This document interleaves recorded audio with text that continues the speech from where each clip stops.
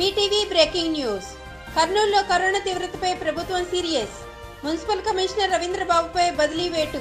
కొత్త కమిషనర్గా ఐఏఎస్ అధికారి డాక్టర్ బాలాజీ నియామకం.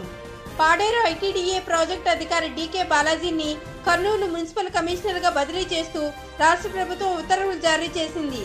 Reported by Rasool PTV Kurnool.